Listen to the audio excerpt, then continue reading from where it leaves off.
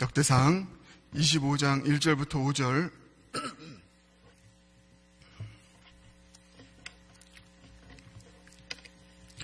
구약성경 647페이지쯤에 있습니다. 다 찾으셨으면 우리 함께 같이 읽겠습니다. 살아계신 하나님의 말씀입니다. 시작. 다윗이 군대 주의관들과 더불어 아삽과 해만과 여두둔의 자손 중에서 구별하여 섬기게 하되 수금과 비파와 재금을 잡아 신령한 노래를 하게 하였으니 그 직무대로 일하는 자의 수요는 이러하니라. 아삽의 아들들은 삭굴과 요셉과 느다냐와 아사렐라니 이 아삽의 아들들이 아삽의 주의 아래 왕의 명령을 따라 신령한 노래를 하며 여두둔에게 이르러서는 그의 아들들 그달리아와 스리와 여사야와 시므이와 하사바야 마따디아 여섯 사람이니 그의 아버지 여두둔의 지휘 아래 수금을 잡아 신령한 노래를 하며 여호와께 감사하며 찬양하며 해만에게 이르러는 그의 아들들 북기야와 마따냐와 우시엘과 스브엘과 여리못과 하나냐와 엘리아다와 깃달디와 로맘디 에셀과 요스브 가사와 말로디와 호딜과 마시옷이라. 이는 다 해만의 아들들이니 나팔을 부는 자들이며 해만은 하나님의 말씀을 가진 왕의 선견자라. 하나님이 해만에게 열네 아들과 세 딸을 주셨더라. 아멘. 살아계신 하나님의 말씀입니다. 영과 진리로 예배하는 예배 공동체 일곱 번째 이야기입니다. 신령한 노래로 부르는 찬양을 통한 예배 부흥이라는 제목으로 말씀 은혜 나누겠습니다. 어, 계속해서 예배 비전 나누고 있는데요. 어, 다윗의 장막 예배를 계속해서 우리 나누고 있습니다. 어, 이 다윗의 장막 예배에 있어서 가장 큰 특징이 무엇이냐? 다윗의 장막 예배의 시그니처가 무엇이냐? 묻는다면 그것은 전례 없는 찬양이 드려진 예배가 다윗의 예배였다 이렇게 말씀드릴 수 있습니다. 아마 역사상 가장 감격적이고도 또 영감이 넘치는 찬양이 있었던 때가 다윗의 장막 예배의 때였고요. 가장 웅장하고 화려하며 아, 아, 화려하기까지 한 그 찬양이 드려졌던 때가 바로 다윗의 장막 예배의 때였습니다. 이 다윗이 찬양에 얼마나 심혈을 기울이고 투자했는지 보여주는 말씀이 오늘 본문 말씀입니다. 특별히 오늘 본문을 보면 다윗이 조직한 찬양대 규모가 예, 어느 정도였는지를 우리가 알 수 있습니다.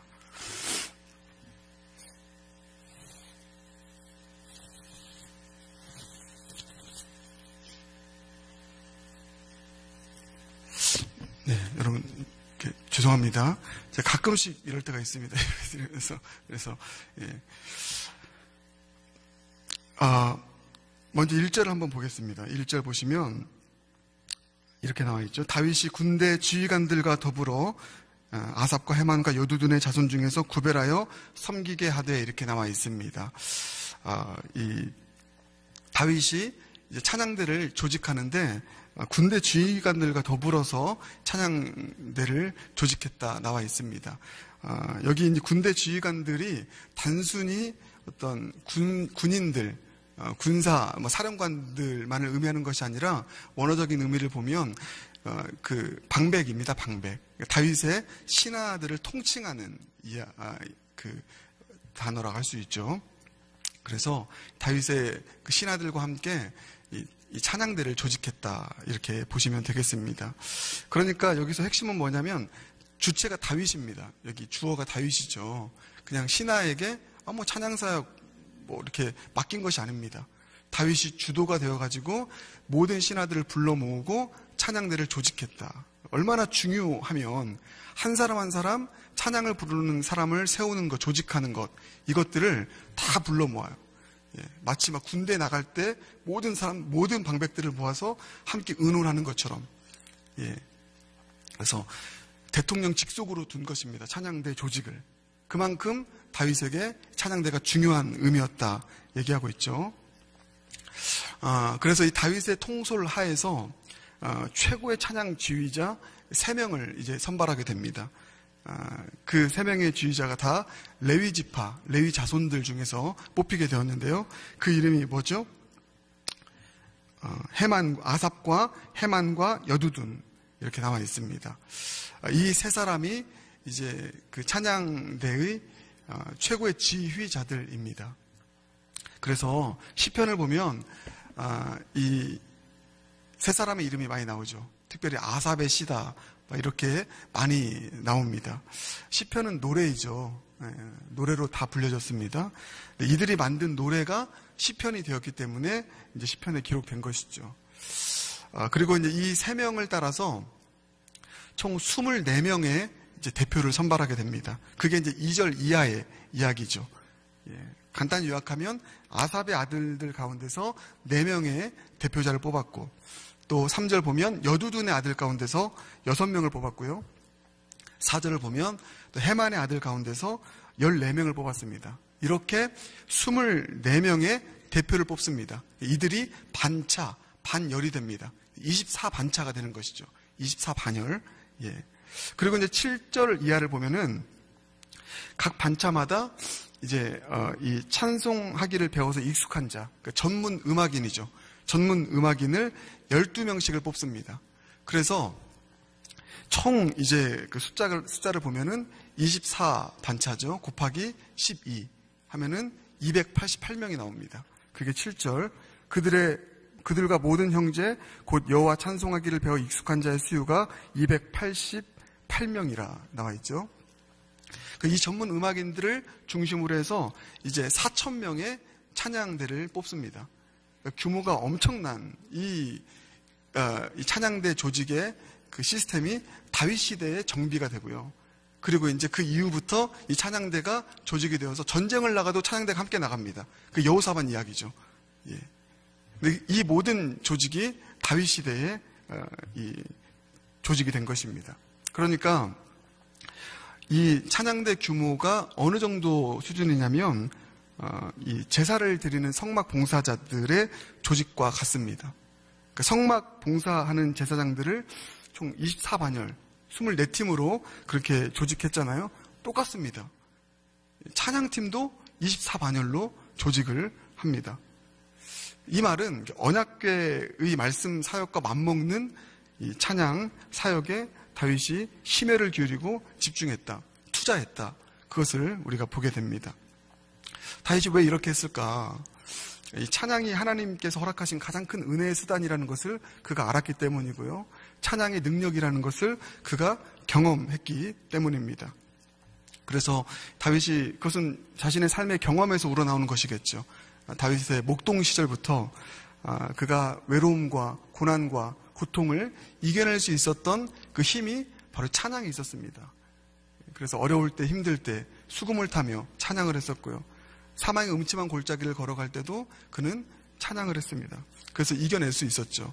그 찬양의 내용들이 시편에 계속해서 기록되고 있습니다.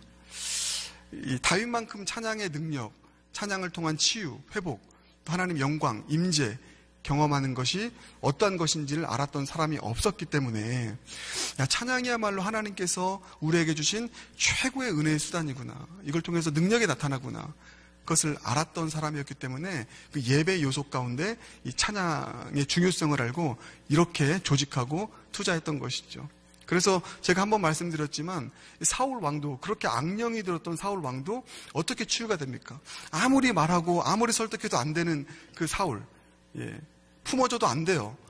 그런데 다윗이 수금을 타고 찬양하는 걸 통하여서 사울에게 악령이 떠나가고 예, 상쾌하게 나았다 이런 표현이 있습니다. 보실까요? 3무엘상 16장 23절 보면 하나님께서 부리시는 악령이 사울에게 이를 때에 다윗이 수금을 들고 와서 손으로 탄즉 사울이 상쾌하여 낫고 악령이 그에게서 떠나니라. 그러니까 이 다윗이 얼마나 이 찬양 영감 있는 찬양을 주님께 드렸던 사람인지를 보게 되고요. 이 찬양을 통해서 치유의 역사가 얼마나 강력하게 펼쳐지는지를 그가 보게 어, 된 것입니다. 그래서 다윗은 이렇게 유독 찬양에 많이 투자를 했고 어, 그래서 다윗의 시편도 다 찬양인 것이죠. 어, 그래서 찬양은 다윗의 예배가 아, 감동의 예배, 또 치유와 회복의 예배, 또 하나님의 임재를 충만하게 경험하는 예배가 됨에 있어서 가장 큰 비중을 차지했던 아, 그런 예배 요소였던 것입니다. 어, 저도 마찬가지죠. 찬양을 통해서 하나님께서 얼마나 강력하게 또 우리의 마음을 터치하시고 역사하시는지는 사실 제가 가장 잘 알고 있습니다. 목회 경험을 하면 목회를 통해서 이 찬양만큼 우리의 예배를 뜨겁게 만들고 또 우리의 심령을 새롭게 하고 또 치유하는 하나님의 은혜의 수단이 없다라는 것을 많이 경험하고 있습니다. 그래서 그 제가 이제 주일 예배를 이렇게 인도할 때 보면은 어, 은혜가 폭발적으로 이렇게 나타나고 또 회심의 역사가 일어나고 치유가 일어나고 또, 어, 또 회복이 일어나는 그 클라이막스 포인트가 있습니다. 그때가 언젠가 보니까 말씀을 함께 나누고 그 말씀을 붙들고 찬양하는 결단 찬양의 시간. 그 결단하면서 치유가 일어나고 또 회복이 일어나고 새로워지는 역사들이 너무나 많이 일어나더라고요. 네. 그래서 제가 사실 부임했을 때 예, 주보 한 글자도 바꾸지 말라고 했는데 제가 가장 먼저 바꿨던 게 이겁니다. 예, 배의 순서를 어, 찬, 말씀과 말씀이 끝나면 찬양으로 이제 결단하면서 마무리하는 예배로 가는 것. 예. 그걸 통한 또 기대하는 바가 참 크거든요. 그만큼 찬양이 얼마나 중요한 것인지 이것을 알기 때문입니다. 어, 예배가 회복되고 예배가 살아나는 이 교회의 특징, 어, 틀림없습니다. 찬양이 살아 있습니다. 영감 있는 찬양이 드려집니다. 찬양을 통한 은혜가 유독 많이 있, 는 교회죠. 그래서 그것을 알기 때문에 이 찬양 사역에 심혈을 기울이고 이 찬양에 투자를 정말 많이 합니다. 어, 저는 저도 장로교 출신이고 지금도 장로교 목사지만 예전에는 이 부분 찬양에 대해서 더 열려 있고 또 투자를 많이 하는 이 부분에 대해서 사실 저도 이렇게 많이 경계심이 있었습니다. 그런데 바뀌게 된 계기가 있어요. 시대의 트렌드 때문에 바뀐 게 아니라 다윗의 장막 시대의 찬양이 엄청났거든요. 예. 오늘과 다음 주에 찬양 비전을 함께 나누기 원하는데 이 다윗이 찬양에 투자한 이게 어마어마합니다. 예. 여건이, 여건이 되지 않았을 때는 수금으로만 찬양했지만 여건이 되고 허락할 때는 할 수 있는 모든 투자를 다해서 그래서 뭐 모든 뭐 악기란 악기는 총 동원이 되고요. 수많은 사람들을 동원시켜서 성막 예배를 봉사하는 제사장 못지않게 이 찬양대를 조직해서 계속해서 끌고 나가는 모습을 보게 됩니다. 이 다윗 시, 다윗의 장막 시대의 이 찬양의 모습을 보면서 제 생각이 바뀌게 된 거예요. 하나님께서 찬양 가운데 임재하시고 역사하시는 것이 얼마나 큰지를 다윗의 그 예를 통하여 다윗의 장막 시대의 예배를 통해서 보게 되기 때문에 이 찬양 사역 우리의 예배가 영광의 예배, 임재가 넘치는 예배가 되기 위해서 너무나 필요한 아, 그런 일이구나. 우리가 예배의 회복을 위해서 기도할 때 이 찬양 사역을 위해서, 찬양의 회복을 위해서 기도하는 것 너무나 중요하겠구나. 그리고 이 찬양 사역이 정말 하나님께서 기뻐하시는 다윗의 장막의 시대의 그 찬양이 우리의 예배를 통해서 들어줄 수 있도록 이 찬양의 사역들을 온전히 어, 셋업해 나가는 이 일들 너무 필요하겠다 이런 마음을 갖게 되었습니다. 그래서 정말 여러분 우리 영락교회 어, 예배가 다윗의 장막의 예배가 구현될 수 있는 그런 예배가 되길 간절히 소망합니다.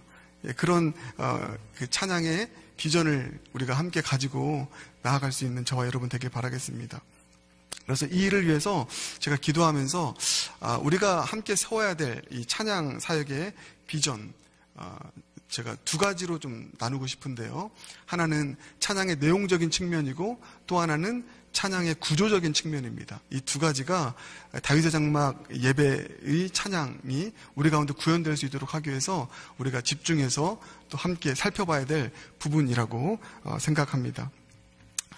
아, 먼저 찬양의 내용적인 측면을 함께 살펴보겠습니다. 이 내용적인 측면에서 다윗의 찬양은 크게 두 가지 차원의 찬양으로 요약이 됩니다. 예. 그래서 이 두 가지 차원의 찬양의 내용이 우리의 예배 찬양이 될 수 있도록 함께 기도하고 만들어가는 것이죠. 하나는 다윗의 찬양은 신령한 노래였다라는 것이고요. 또 하나는 아, 새 노래로 찬양했다는 것입니다. 예. 그래서 아, 오늘은 이 신령한 노래 부분만 함께 우리가 알아보고요. 다음 주에 새 노래의 부분을 함께 살펴보겠습니다. 다윗의 찬양은 신령한 노래였다. 그리고 새 노래였다. 새 노래에 대한 이야기는 시편에 참 많이 나와 있죠. 근데 신령한 노래. 오늘 본문이 다윗의 찬양이 신령한 노래였음을 계속해서 보여주고 있는 본문입니다. 그래서 한번 보실까요? 25장 1절을 보면 이렇게 나와 있죠. 중반절 이하를 보면 어, 신령한 노래를 하게 하였으니 그 직무대로 일하는 자의 수요는 이러하니라 나와 있죠. 또 2절도 신령한 노래에 대한 이야기가 나옵니다. 하반절을 보면 아삽의 지휘 아래 왕의 명령을 따라 신령한 노래를 하며 나와 있죠. 또 3절, 3절도 마찬가지입니다. 하반절 보면 그의 아버지 여두둔의 지휘 아래 수금을 잡아 신령한 노래를 하며 여호와께 감사하며 찬양하며 신령한 노래라고 하는 단어가 계속해서 등장하고 있죠. 다윗의 시대의 찬양이 신령한 노래였다라고 하는 것을 보여주고 있는 것입니다. 아, 신령한 노래가 무엇일까요? 네, 신령한 노래 아, 원어적인 의미는 아, 예언하다라고 하는 의미를 가지고 있습니다. 신령한 노래의 그 원어가 나비라고 하는 단어인데요. 나비라고 하는 단어가 예언하다라고 하는 뜻이죠. 그러니까 어떤 내 감정 또 나의 어떤 끼를 따라서 노래하는 것이 아니라 하나님의 말씀을 전하는 것 이것이 다윗의 시대의 중요한 아, 찬양 노래의 특징이었다는 것입니다. 그래서 이 찬양하는 자를 뭐라고 표현하고 있을까요? 오늘 본문을 보면 예, 선견자라고 표현하고 있습니다. 5절 보실까요? 5절 보시면 이렇게 나와 있죠. 마지막에 하나님의 말씀을 가진 왕의 선견자라 해마는 하나님의 말씀을 가진 왕의 선견자라 이렇게 나와 있습니다. 아, 이 선견자가 바로 이 그 선지자의 또 다른 말이죠. 옛적에는 선견자라 불렀고 예, 그리고 다음에는 이제 선지자라고 부르는데 예, 선견자라고 찬양 인도자를 선견자라고 표현하고 있습니다. 영어 표현으로는 seer라고 이렇게 나와 있죠. 그러니까 이 선견자의 주 임무는 무엇입니까? 하나님의 뜻과 말씀을 받아서 백성에게 선포하는 아, 그런 아, 일을 하는 것입니다. 이 선견자는 앞날을 예견하거나 또 예언하는 것에 주력하기보다는 하나님의 말씀을 사람들에게 알리면서 그 뜻을 쫓아 살아갈 수 있도록 격려하고 인도하는 사명을 감당했습니다. 그걸 무엇으로요? 찬양으로. 예, 찬양을 통해서 하나님의 말씀과 그 뜻을 선포함으로 그 일을 감당했다는 것입니다. 어, 그래서 이 다윗의 시대 찬양에 있어서 가장 중요한 것, 예, 그것은 말씀 선포였던 것이죠. 하나님의 뜻이 그 찬양을 통해서 온전하게 드러나도록 한 것이었습니다. 이게 찬양이 영감 있는 찬양이 되고 그 찬양이 정말 열매를 맺는 찬양이 되도록 하기 위해서 가장 중요한 요소입니다. 찬양의 가장 중요한 요소는 말씀의 선포입니다. 하나님의 뜻이 온전하게 드러날 수 있도록 예.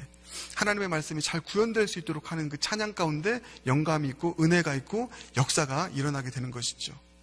멜로디도 중요하고 리듬도 중요하지만 아, 근데 이와 같은 멜로디와 리듬은 그 시대의 옷을 입고 언제든지 바뀔 수가 있죠. 여러 가지로. 예, 그러나 말씀의 선포는 반드시 이 찬양의 요소의 핵심이 되는 그런 일이라는 것입니다. 그러므로 아, 이 찬양 인도자는요, 찬양 인도자뿐만 아니라 찬양으로 예배를 봉사하는 모든 사람들은 무엇보다 말씀의 사람이어야 됩니다. 그러할 때 그 곳에 찬양이 영감 있는 찬양이 되고 또 은혜를 누리는 찬양이 되고 찬양의 은혜의 통로가 된다라는 것입니다. 그러니까 너무나 중요합니다. 예. 찬양 인도자는 찬양으로 예배를 봉사하는 사람은 무엇보다 말씀의 사람이어야 된다. 여러분 이것이 찬양 인도자와 세상의 음악을 하는 사람을 구분 짓는 가장 중요한 기준이고 우리가 이 부분을 타협해서는 안 되는 예, 가장 중요한 부분이라는 것입니다. 물론 찬양 인도자에게는 또 찬양으로 봉사하는 사람에게는 어, 음악적인 은사가 있어야 됩니다. 제가 저도 열심히 예전에 성가대를 했었거든요. 테너를. 그래서 예전에 교회에 있을 때도 성가제를 나갔을 때 제가 테너를 하다가 한 2년 하다 안 했어요. 은사가 없어서. 이상한 게 화음을 이상하게 낸대요. 그래서 안 했습니다. 음악적 재능이 있어야 됩니다. 다윗을 비롯해서 아, 주님이 세우신 찬양의 리더들은 모두 음악적인 재능이 있는 사람들을 세웠습니다. 근데 더 중요한 게 무엇이라고요? 아무리 음악적인 재능이 있어도 말씀의 사람. 예. 그 말씀의 사람이라는 것은 말씀을 얼마나 아는 것도 중요하지만, 예, 그 말씀을 따라 살아가는 게 중요하죠. 찬양이라는 것은 봉사, 앞에서 봉사는 은혜의 통로입니다. 근데 그 사람이 말씀의 사람이 되지 못하고 또 말씀을 따라 살아가는 사람이지 못하면 아무리 음악적인 재능이 있고 프로페셔널해도 이 은혜가 흘러가지 못하고요. 은혜가 막히게 되는 것들을 너무나 많이 보게 됩니다. 그렇죠. 찬양이 얼마나 중요하다는 것을 여러분도 잘 알고 있지 않습니까? 예. 그래서 무엇보다 말씀의 사람이어야 된다라는 것. 네. 그래서 잘 보세요. 본문을 보면 찬양 리더들이 찬양으로 음악을 봉사하는 모든 사람들이 다 어느 지파 출신입니까? 하나같이 레위 지파예요. 지금은 지파의 구분이 없지만 레위 지파에서 뽑았다라고 하는 것입니다. 레위 지파는 구별된 지파죠. 성전과 또 제사를 섬기도록 구별된 지파입니다. 가장 중요한 특징이 뭘까요? 어릴 때부터 말씀을 배웁니다. 율법을 배웁니다. 그게 가장 중요한 직무예요. 근데 그 말씀의 사람들 가운데서 그 레위 지파 가운데서 찬양하는 사람들을 세운 것이죠. 그 가운데서 음악적 재능이 있는 사람들을 뽑은 것입니다. 288명을. 그렇게 해서 찬양을 어, 섬길 수 있도록 그렇게 한 것. 여러분 이 프로세스가 우리 교회 가운데 적용되어야 되지 않겠습니까? 단순히 어떤 음악을 잘 다루고 음악성이 좋은 사람을 교회의 성가대나 찬양팀에 넣을 수는 없죠. 간혹 음악적인 재능 만을 고려해서 어떤 세션이나 또 싱어를 고용하기도 하는데 아, 그와 같은 일이 일어날 때 프로페셔널한 음악이 또 어, 연주되어지고 들려질지는 몰라도 그 찬양을 통해서 하나님과 사람 사이를 이어주는 영감 있는 은혜의 통로가 될 수 없다라는 것을 보게 되는 것이죠. 중요한 것은 찬양을 인도하는 자들이 이 말씀을 사모하는 자들이어야 되고 무엇보다도 하나님을 갈망하는 영성을 가지고 있는 사람들이어야 된다는 것입니다. 그 갈망과 또 말씀에 젖어든 영성이 있는 찬양팀, 또 성가대를 통해서 은혜가 폭포수처럼 쏟아지게 되는 것입니다. 어, 저는 사실 그런 찬스 감사하거든요. 어, 이제 성가대 정말 기대가 됩니다. 하나를 보면 열을 난다고 아마 성가대 가 이런 하나님의 말씀을 정말 사모하고 갈망이 있는 그런 성가대라고 저는 믿거든요. 예. 근데 제가 본 것은 찬양팀 아닙니까? 이 찬양팀 안에 이 갈망이 있는 것을 보게 됩니다. 정말이에요. 그 말씀을 향한 사모함이 있는 것을 보게 됩니다. 제가 그 정말 깜짝 놀랐던 게 뭐냐면 이런 찬양팀들이 있대요. 영락교 역사에는 그런 찬양팀이 없다라고 저는 알고 있지만 찬양을 연주하고 끝나고 나면 나간대요. 말씀을 듣지 않고 나갔다가 들어오고 또 그냥 뭐 보이지 않는 곳에 있다가 이렇게 또 찬양할 때만 나와서 하고 근데 제가 감동했던 게 뭐냐면 찬양을 부르고 너무 사모함을 가지고 말씀을 듣고 말씀을 또 아멘하며 그렇게 반응하는 우리 찬양팀들의 모습을 보게 됩니다. 너무 감사하죠. 무엇보다 말씀을 향한 사모함이 있는 것, 이래서 소망이 있는 것입니다. 더 나아가서 그 하나님의 임재를 향한 갈망이 있죠. 그래서 한 시간도 훨씬 전부터 와서 찬양을 준비하고 예배를 준비하는 모습 쉽지 않은 거거든요.